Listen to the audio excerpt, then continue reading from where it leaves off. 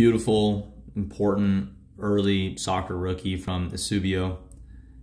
And it's it's just you know one of these figures that is among the more loved, uh, very scarce in any grade, but uh, I don't know. It's just uh, it, it's it's an issue that uh, is really harking to what has become one of the more prolific growth sectors of the market.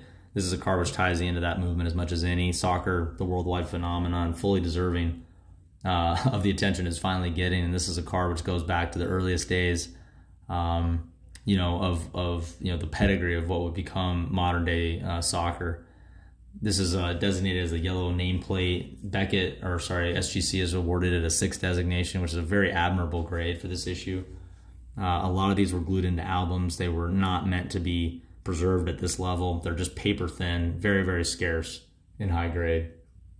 It's all told, it's one of the best copies in the world, certainly, and uh, for those again wanting to position themselves in the space of vintage soccer, that's a car that's hard to replicate or improve upon.